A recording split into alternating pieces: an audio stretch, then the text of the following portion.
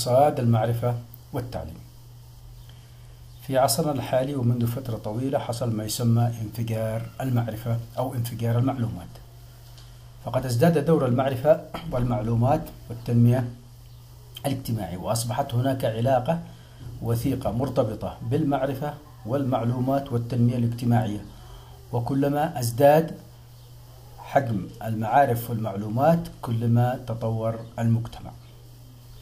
والمعرفة ليست مجرد عمل صغير ولكنه عبارة عن تراكم معلوماتي مستمر ممزوج بالخبرة عبر الزمن أي أنه لفترات طويلة تتراكم هذه المعرفة في المجتمعات تزداد تتطور تتنوع بحيث يتمكن الفرد بصفة خاصة والمنظمة بصفة عامة من التصرف في وضع معين بشكل مناسب بحيث يتم الاستفادة من الفرص المتاحة في أي مجتمع وكذلك مواجهة التهديدات.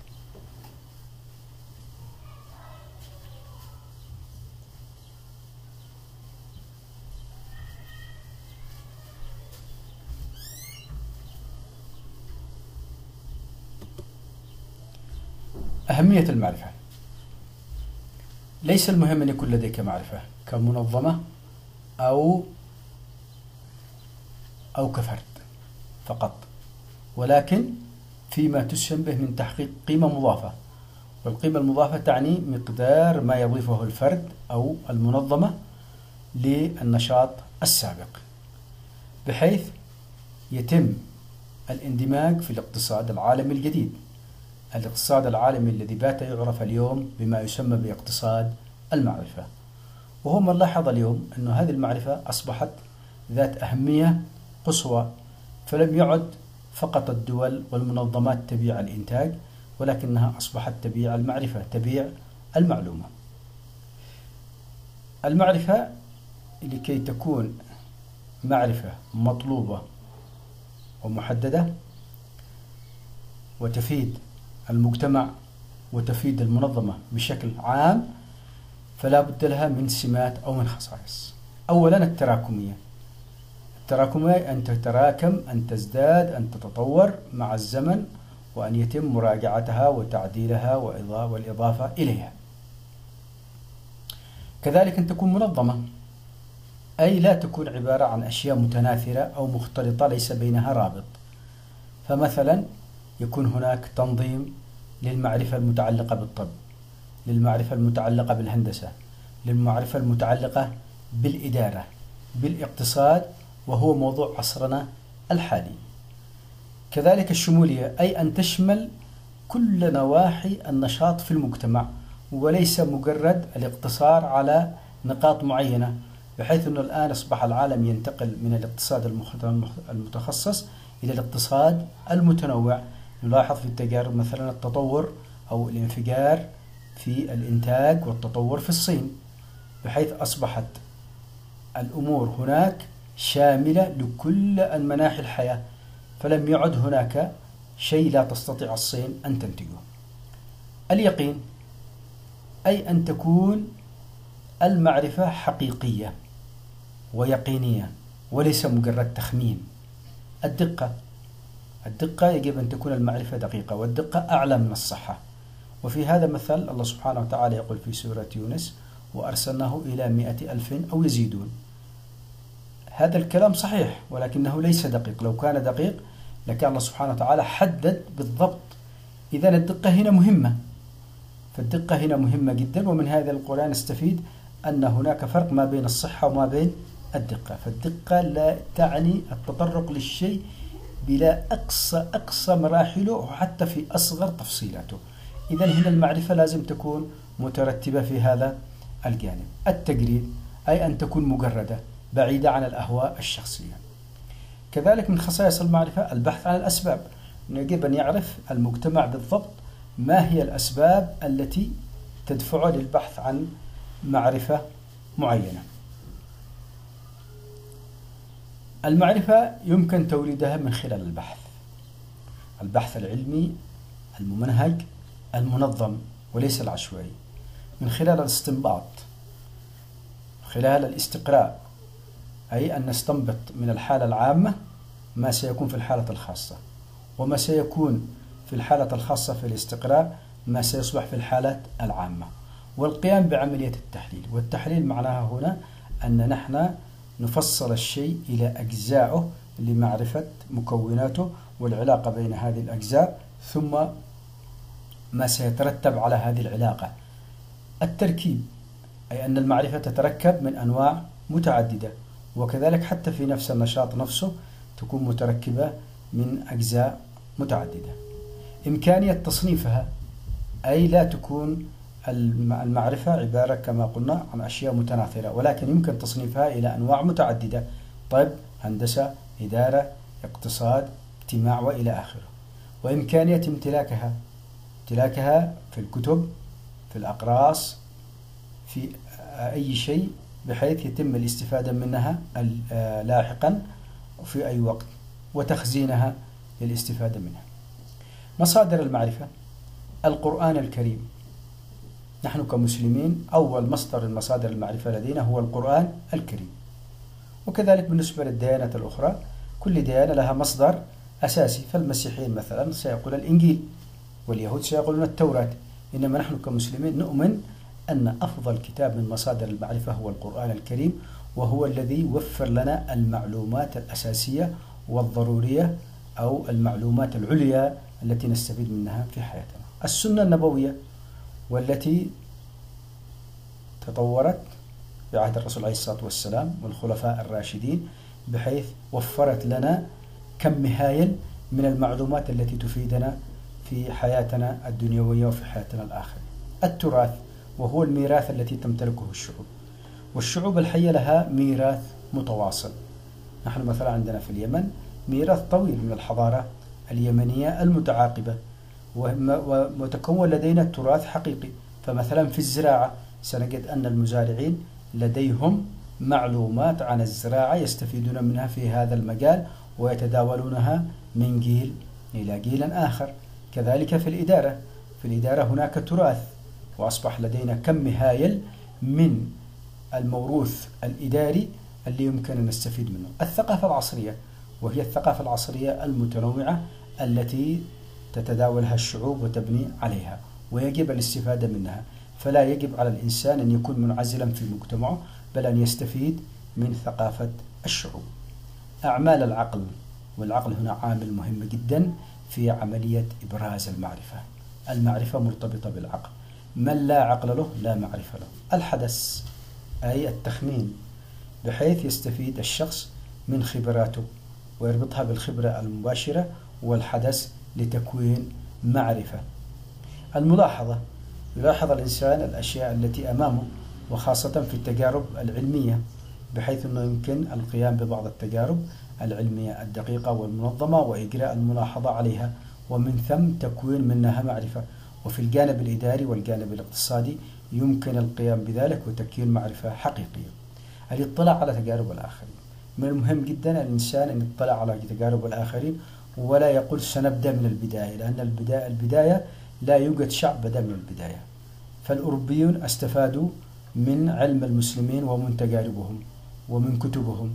وقد كانت الجامعات الأوروبية تدرس كتب ابن الهيثم في الطب وابن النفيس وابن سينا وإلى آخره والمسلمين استفادوا من تجارب الرومان واليونان والهنود والفرس وهكذا. فلا يوجد حضارة منقطعة. لا يستطيع أن يقول الشخص أنا فقط لوحدي في هذا العالم. أنواع المعرفة. المعرفة الصريحة. وهي معرفة رسمية مكتوبة منظمة موجودة في الكتب موجودة في الوثائق ويمكن نقلها إلى الآخرين بسهولة. وهذه طبعا تمثل جانب مهم جدا لأن أصبح الأشخاص والمنظمات يعتمدون عليها اعتماد كبير. المعرفة الضمنية التي تعتمد على الخبرة الشخصية أي التي مخزنة في عقول الأفراد. وهذه معرفة مهمة جدا. ولهذا يقول أحدهم مت فارغا كتب كتاب مت فارغا هذا الكتاب يقول فيه أن الإنسان قبل أن يموت يجب أن يكتب كل ما لديه من معلومات لأن ثروات الشعوب ليس في النفط ولا في المعادن ولا في المصانع ولكنها في عقول الأفراد. ومن يموت ولم يكتب هذه المعرفة بالتالي ستذهب هدرا. ولهذا يقول أحدهم أن أكبر معرفة وأكبر ثروة للبشر هي موجودة في المقابر لأن الناس قد ماتوا ولم يكتبوا مثل هذه المعرفة. وبالتالي على المنظمات والأفراد كتابة هذه الأشياء التي لديهم من خبرة وقواعد وحدث وحكم شخصي بحيث يمكن الاستفادة منها. تصنيف آخر المعرفة. المعرفة الجوهرية وهي معرفة هامة جدا. تمثل الحد الأدنى الواجب توافره لدى الفرد والمنظمة. فالفرد يجب أن يعرف من إلهه من ربه وما هو هدفه من الحياة. والمنظمة يجب أن تعرف ما هي الأهداف التي يجب أن تقوم بها؟ وكذلك الأفراد الذين يعملون لديها.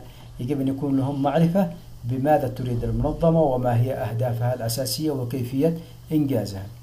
المعرفة المتقدمة وهي معرفة مهمة جدا لأنها ستمكن المنظمة على البقاء والتنافس وبالتالي ما يتطلب البحث والجهد. المعرفة الابتكارية وهي المعرفة التي نلاحظ أنها موجودة في هذا العصر والتي تركز عليها المنظمات بصفة عامة. والتي تمكن المنظمة من البروز في مجال الذي تعمل به نشاط تجاري صناعي اقتصادي وكذلك تمكن من المنافسة والبقاء في هذا العصر الذي أصبحت فيها المنافسة لا ترحم منافسة قاتلة. مجتمع المعرفة. إذا المعرفة ليست عامل وحيد أو عامل منفرد ولكنها مرتبط بمجتمع متكامل. مجلة عربية يصدرها التقدم التجمع الوحدوي في مصر. كان شعارها لا يجتمع لا يوجد مجتمع فيه يقظ وفيه أفراد نائمون ولا مجتمع فيه أفراد يقظون والمجتمع نائم. فاليقظة هي عمل متكامل وبالتالي يجب على المجتمع بشكل كامل يهتم بدور المعرفة ويوفر البيئة المناسبة لتفعيلها وتنشيطها وزيادة عطائها. صارت المجتمعات الأيام هذه تتنافس على حجم المكتبات التي تقيمها على عدد الإصدارات في الكتب على كمية الكتب اللي تطبعها. لذلك لكي يتوفر معرفة حقيقية وأصبح لدينا الأنترنت الذي فيه سيل هائل من المعرفة التي يمكن الاستفادة منها وليس مجرد تبادل الرسائل كما يحصل في بعض دول العالم الثالث مجتمع المعرفة يحتاج إلى تعليم عال ومتطور. مجتمع يعتمد على تعليم متطور حديث تستخدم فيها الأساليب الحديثة بحيث يستطيع الفرد أن يتعلم سواء في بيته أو في الجامعة أو حتى في الشارع لكي يستفيد.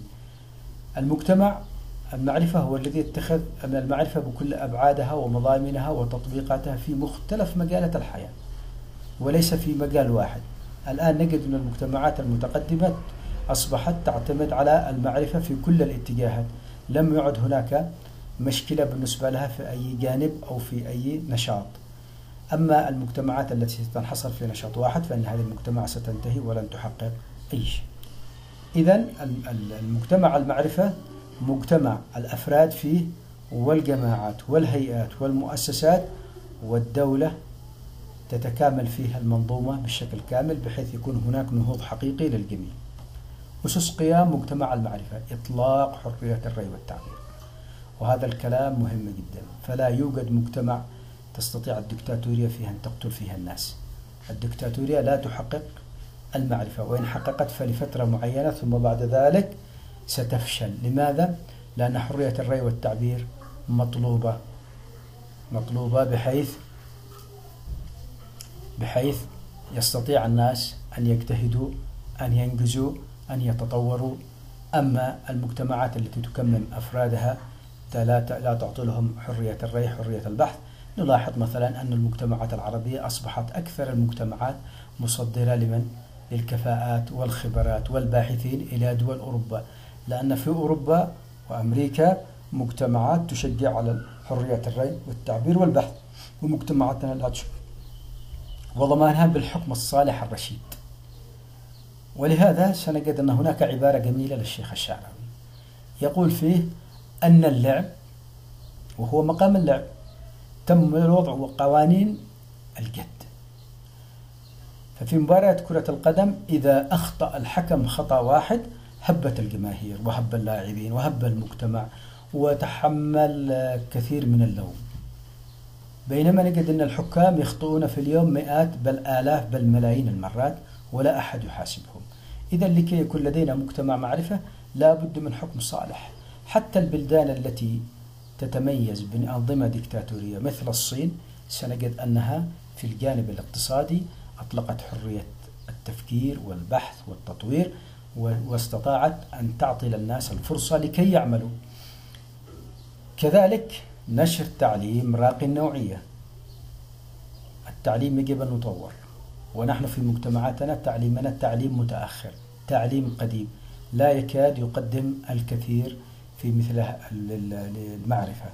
لكن المطلوب فعلا أنه الآن تتحرك القوى في المجتمع لمحاولة تطوير التعليم بما يؤدي إلى تطوير المجتمع. كذلك البحث العلمي والتطوير. في العالم كله تسجل في اليوم الواحد عشرات بل مئات الأبحاث في كافة المجالات. ولهذا سنجد أنه العالم صار يتكلم عن اللغة الإنجليزية. ليس لأنها لغة مفروضة على البشر بقوة السلاح ولكن لأن الأبحاث أصبحت بهذه اللغة. طيب فماذا نحن علينا؟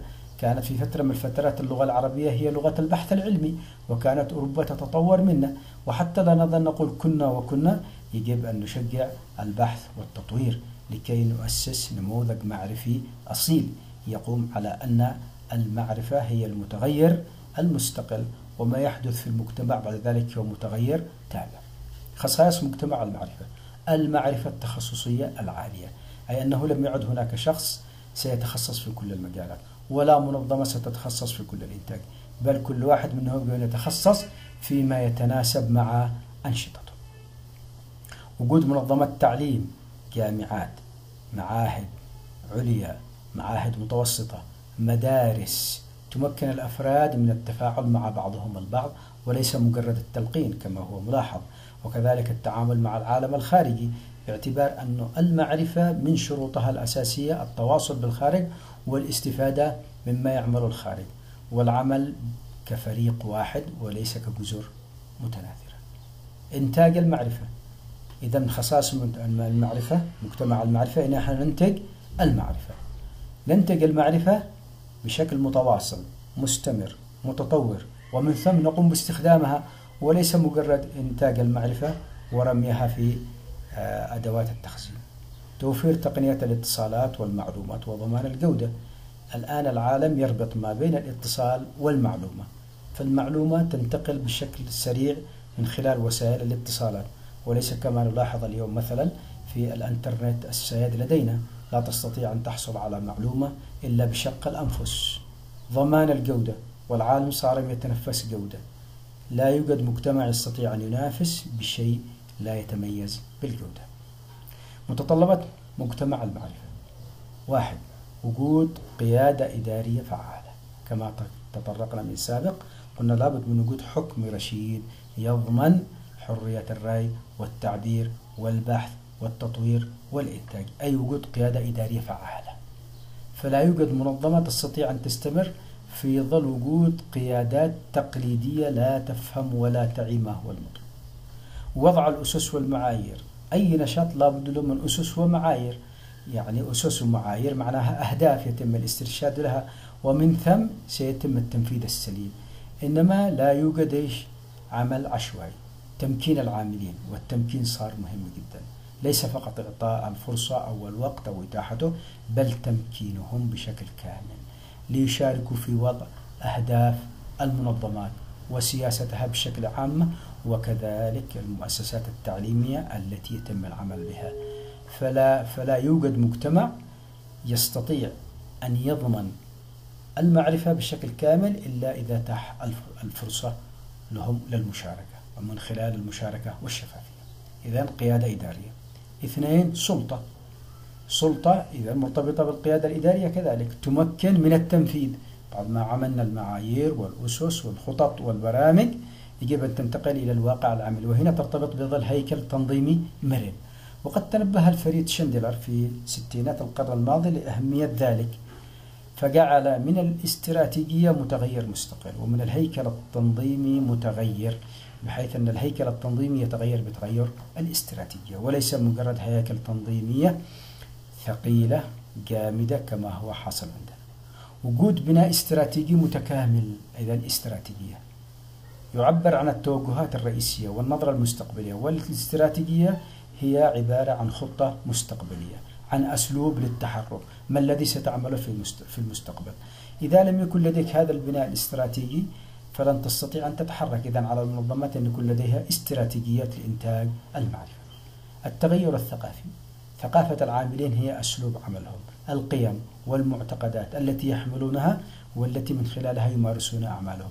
قد تكون هذه القيم والمعايير قديمة لا تتناسب مع طبيعة العصر. وهذا ما نلاحظه في كثير من مؤسساتنا ومنظماتنا وجامعاتنا مما يتطلب التغيير الثقافي لهؤلاء لكي يفهموا أن العصر لم يعد هو العصر السابق.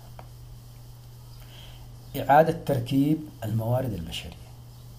كل منظمة لديها عاملين ولكن يجب دراسة مكونات هؤلاء العاملين. العدد الوظائف التي يقومون بها المؤهلات التدريب التطوير الثقافة بحيث يتم إعادة تركيب هذه الموارد البشرية بما يمكن من تحقيق تطور والتطوير ومجتمع المعرفة.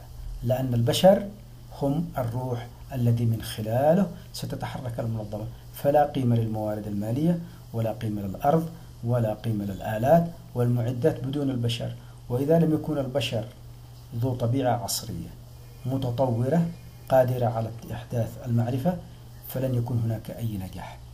نظم معلومات متكامل والمعروف أن المنظمات الآن أصبحت لديها أنظمة معلومات متكاملة إنتاجية إدارية ثقافية اقتصادية تسويقية وإلى آخره محاسبية.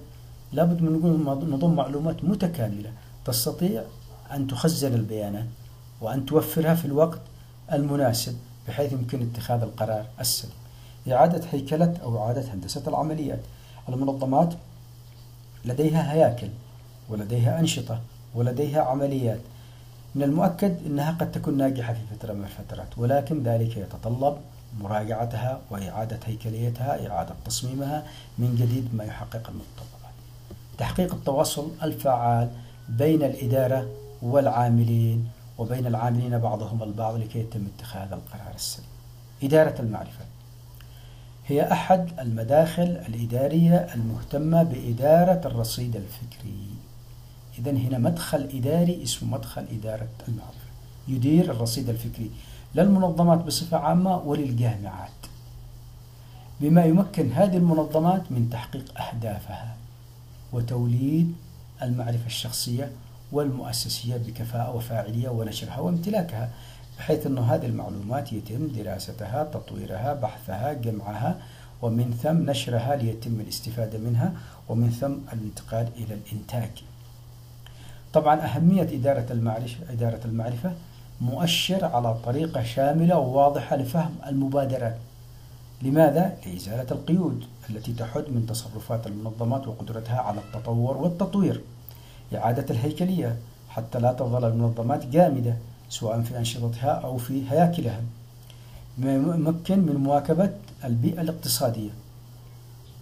البيئة الاقتصادية عندما تواكبها بشكل كويس وتلبي احتياجاتها ستؤدي إلى زيادة حوائج المنظمة عوائد المنظمة أرباح المنظمة تحقيق احتياجاتها ومن ثم تحقيق رضاء العاملين تحسين مستوى معيشتهم منحهم الحوافز المكافآت وبالتالي اكتساب ولائهم ومنظمة بدون ولاء من العاملين لا يمكنها من الاستمرار بشكل سليم مما يمكن من تحسين الموقف التنافسي.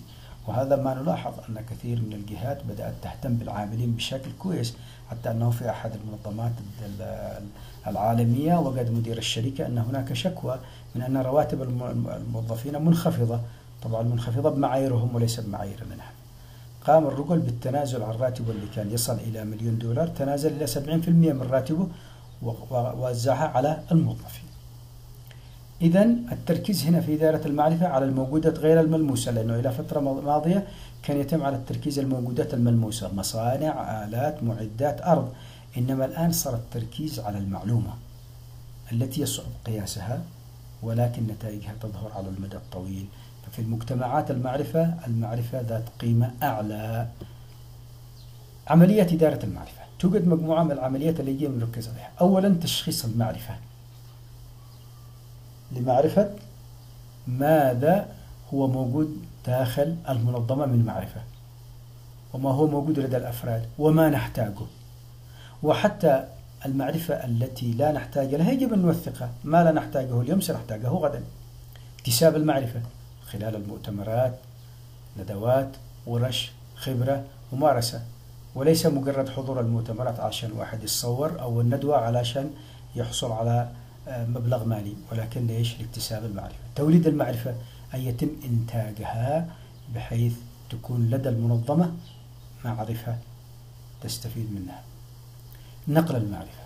إذا بعد ما ولدنا المعرفة نقوم بعملية نقلها. نقلها إلى الآخرين من خلال التدريب والتعليم في المؤسسات التعليمية وكذلك في المنظمات على المنظمات أن يكون لديها برنامج واضح للتدريب. ترميز وتخزين المعرفة وتصنيفها بشكل منظم ومفيد حتى لا تكون مجرد جزر متناثرة أو مختلطة لا يتم الاستفادة منها ولكن يجب أن نحدد ماذا نحتاجه وكيف ننظمه. بحيث يتم الاستفادة منه بشكل سليم. التطوير أي أن المنظمة لا يجب أن تستمر على المعرفة السابقة ولكن تعمل على تطويرها إضافة الجديد ومن ثم توزيعها على الآخرين تطبيق المعرفة كما تكلمنا من سابق المعرفة يجب أن تولد تنتج ثم تطبق ليتم الاستفادة منها. لا قيمة للمعرفة إذا لم يتم تطبيقها. تشارك المعرفة مع المؤسسات التعليمية وهذا طبعا التشارك الآن أصبح يتم في كثير من المنظمات تتشارك المعرفة ولكن التشارك هنا يأتي في كثير من بمقابل مادي مما جعل كثير من المنظمات تستفيد استفادة كبيرة من المعرفة وتزيد أرباحها. معالم إدارة المعرفة. عشان نحن نعرف هل لدينا معرفة أو لا أولا نجيب أن نقيس الأداء. نقيس الأداء اللي نحن نعمل فيه الآن ثم نولد المعرفة. ثم نطبق المعرفة. ثم نعيد القياس من جديد لمعرفة حجم التطور الذي حدث بحيث يتم العمل على معرفة ما الذي أنجزناه وهل استفدنا منه وهل تطورنا إلى آخره. تكنولوجيا المعلومات والاتصالات. تكنولوجيا المعلومات والاتصالات. إذا موضوع جديد اللي هو تكنولوجيا المعلومات والاتصالات.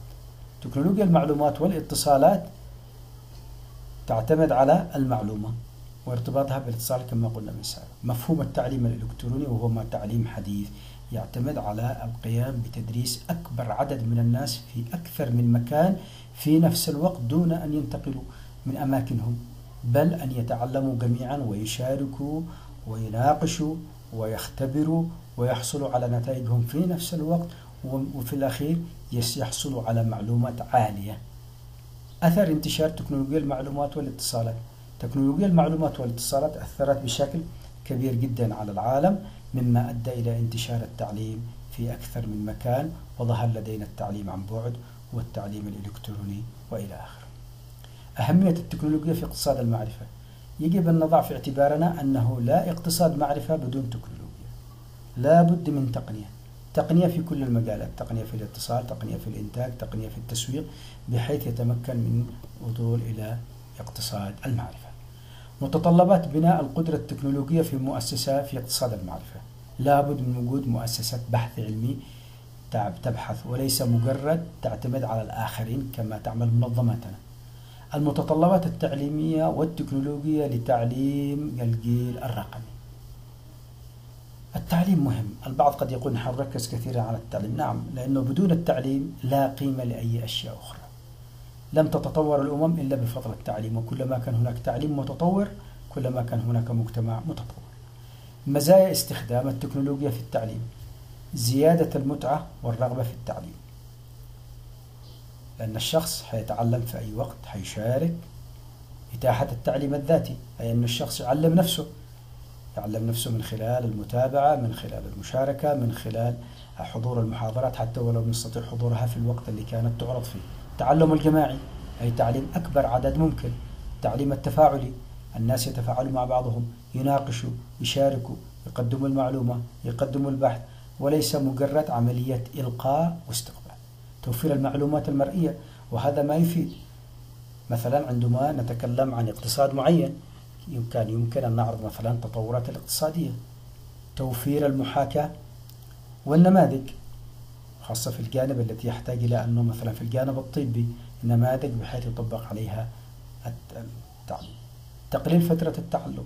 فالطالب ممكن يأخذ الدراسة في فترة أقل ولكن مع ضمان أنه تعلم. تحقيق العداوة والمساواة بحيث أن الناس سيتعلمون في أكثر من مكان وفي نفس الوقت أو في أوقات أخرى حتى ولو يستطيعوا خاصة أن هناك مناطق في بعض المجتمع قد تكون مناطق نائية أو قد تكون هذه المناطق فقيرة ما يسهل الوصول إليهم التعليم. الإلكتروني فعالية التكلفة. أي أن التكلفة التي ستبذل سيقابلها زيادة في عدد الذين سيتعلمون والمعلومات التي ستصل إليهم والوقت بحيث يمكن أن التكلفة هذه تصبح أقل كلما تطور الزمن. مواجهة التحديات التي تواجهها مؤسسة التعليم العالي وقد تطرقنا في الفصل الأول من هذا الكتاب للحوكمة.